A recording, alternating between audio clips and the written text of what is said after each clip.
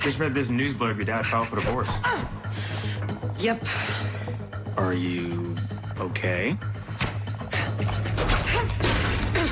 He married a woman who preyed on his grief and convinced him that I was crazy for thinking Beth was still alive. I can't say I'm losing any sleep over it.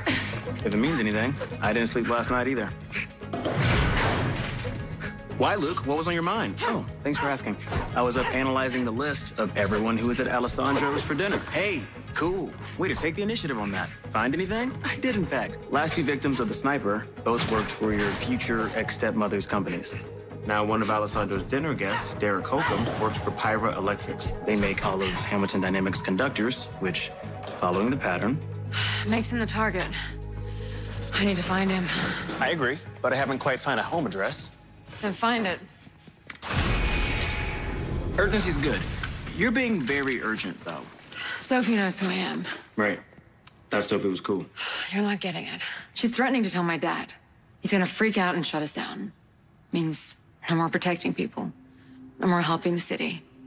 No more Batwoman. Can you trust her?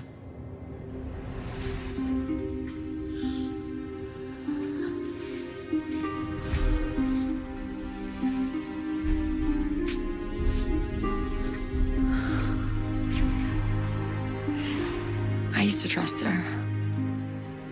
With everything. Then just be real with her. And for the sake of the city, convince the hell out of her not to tell your dad who you are.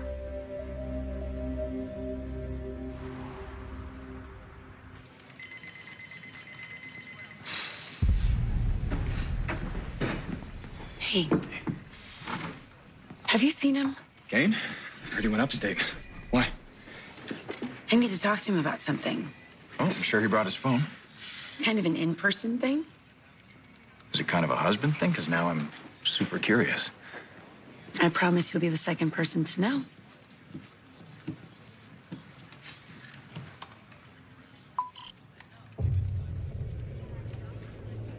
I thought you said Batwoman took off before you could talk to her. She did. Why?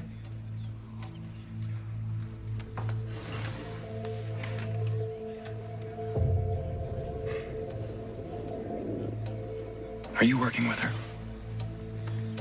Am I working with her? I mean, look how close you two are. I commanded she surrender. You're acting like we exchanged brownie recipes. Sophie. Do you know who she is? No. Tyler, I don't.